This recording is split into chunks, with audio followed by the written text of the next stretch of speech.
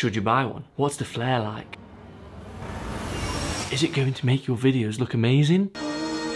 In this video, we're going to go into all of our first impressions, so Let's go. In every filmmaker's career, there's this magical period of time between finding out about the existence of anamorphic lenses and actually getting to use one. We fill that void by trying to fake the look with the 2.35 black bars, but trust me, mm-mm, it's not the same. Cinema lenses are expensive, right? That's where the Sirui Jupiter series come in. No, darling, it's not pomegranate.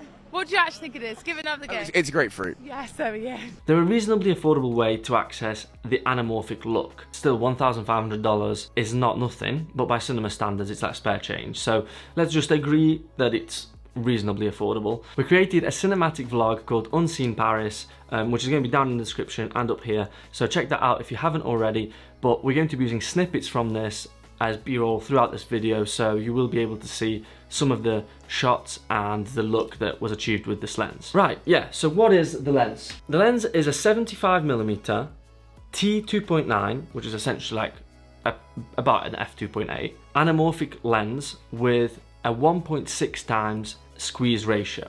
What does that mean? I hear you say. Of course, different anamorphic lenses have different squeeze ratios. The higher the ratio, the more it squeezes the image. 1.6 times, in the case of this lens, is a really nice in-between of your usual sort of squeeze ratios. 1.33 can be a bit vanilla, 2 is quite severe, so 1.6 sits just comfortably in that middle. Mm, it's an all metal design, perfectly weighted focus and aperture rings. It's everything you'd expect from a cinema lens. All right, let's move on to our impressions and what it was like to actually film with it. Yeah, 75mm is not really 75mm in the anamorphic world. So very similar to when you're converting an APS-C lens, focal length to full frame, um, it's kind of the same thing with the squeeze factor. So a 75mm the field of view is actually closer to 50mm. This proved to be a really, really good focal length for the sort of street cinematic vlog that we're trying to film in Paris. It was wide enough to get plenty of context and plenty of scene, but at the same time gave us enough reach to not be obtrusive and to also capture plenty of details. Composing a shot is completely different when you're using an anamorphic lens. I mean, let's back it up here. In order to even compose your shot, you need to de-squeeze it first on the fly because it just looks like mush on the back of the camera. Now some cameras have the de-squeeze function already set up inside. Uh, unfortunately our Sony doesn't, so our options are either using like an external display such as the Ninja 5 from Atomos or in our case our run and gun setup was using the Accsoon CineView Nano which allowed us to use my iPhone as a monitor and we were able to de-squeeze the footage and see what we're actually filming basically what the final image is going to look like. Once you've managed to de-squeeze your footage you will be faced with a completely different kettle of fish when it comes to composition. For some reason, with an anamorphic lens, it feels like the image is flatter. I don't know whether that's because you're losing the top and bottom, so it kind of, I don't know, it basically, it's not like using a wide angle lens at all. I found myself being far more focused on the x-axis and the depth, like that would be, I think, the z-axis.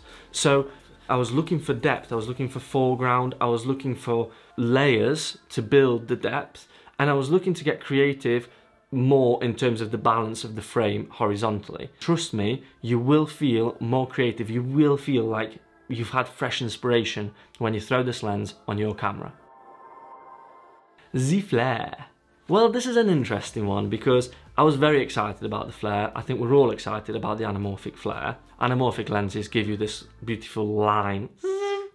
Sounds like this, like the flare's like very signature to the anamorphic look. But having spoken to a friend who'd shot quite a bit of anamorphic, like a firefighter, he extinguished the flames of my excitement somewhat. How poetic. Yeah, he said, you know, like the flare is, is nice and that, but it's not the main thing that'll blow you away. And he was right. Genuinely, the flare was a cool add-on, and when it appeared, I was like, ooh, every time that you get that little tingle, oh, nice.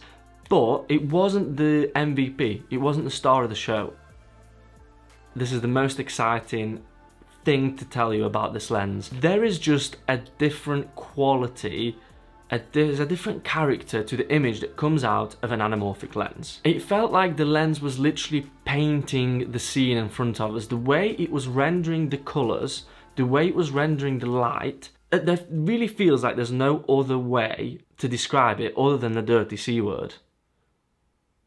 Yes, I'm talking about cinematic. Sometimes like you use like a, an f1.2 lens, like an 85 f1.2 from Canon. It's almost too soft or it's so like that there's not much definition there, but this is the perfect balance of softness. The bokeh, the out of focus areas, the shape of the bokeh as well. Mmm, it's just full of character. It, it's tasty, it's tasty. Anamorphic lenses are usually associated, like I mentioned, with sci-fi, futuristic flying cars, blue, techy sort of vibes. Well, we were doing the exact opposite. Warmer tones, sort of golden light, um, old town Parisian vibes were kind of very different from what you'd expect with an anamorphic lens, and yet I feel like it worked so well and just gave it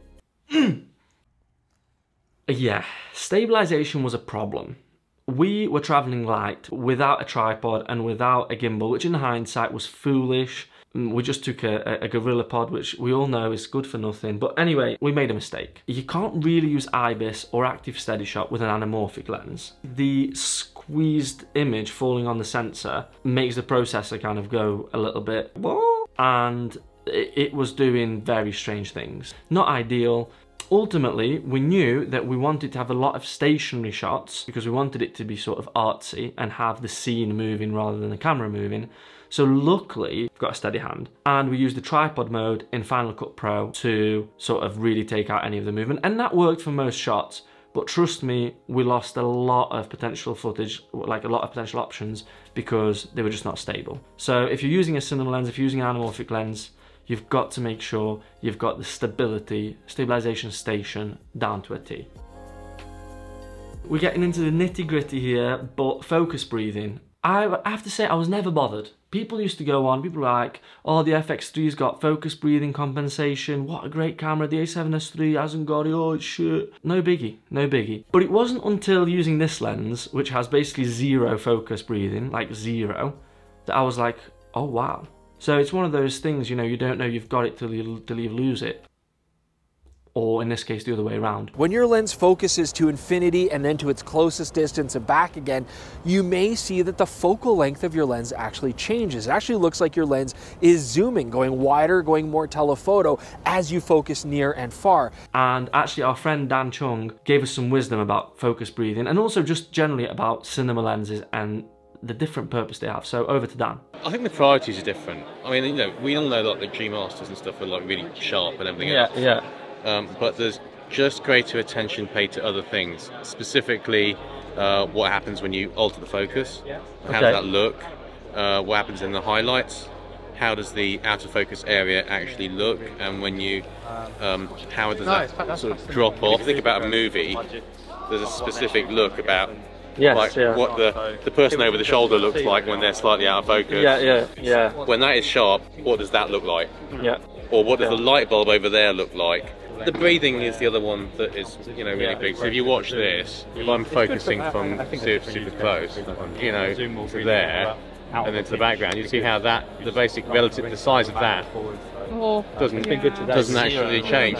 You know, you do that on almost, not every, but almost any photo lens, it's just going to go yeah. like that. I mean, I think a lot of the things about these lenses are designed to not distract you when you're watching a movie. Yeah, it should be just in You should be not just in the story. You should be just following what's going on in the drama. And so anything that sort of goes, hmm, what the hell was that? It makes you yeah, think. Yeah. The best uh, filmmaking is when you don't notice the filmmaking. Yeah. And as promised, we have to answer those burning questions. Is this lens for you? Should you buy it? Is it going to make your videos look amazing? Short answer, yes. Basically, yes. You should buy it if you can't afford to buy it, then at least rent it for a couple of days and just see what it's about. Will it make your videos look amazing? Probably yes, yeah. I'll be honest, it's cinematic as fuck. It will make you think outside the box. It'll make you see things differently. It's got that new camera inspiration. And if maybe if you feel like you've been in a bit of a creative rut, then this could be your way out of the hole. Make sure you're subscribed to this channel if you want to see more anamorphic goodness because there will be a lot more coming. That lens is going to be and we'll see you in the next one. Thank you so much for watching. Bye. Bye.